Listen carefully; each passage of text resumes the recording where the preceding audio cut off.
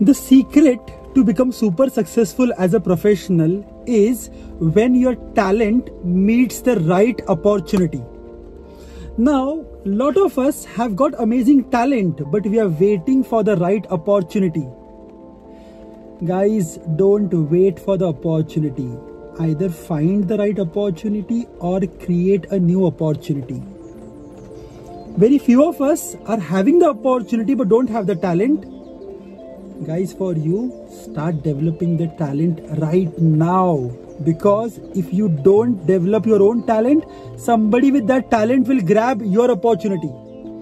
Remember talent and opportunity have to be together for you to become super successful as a professional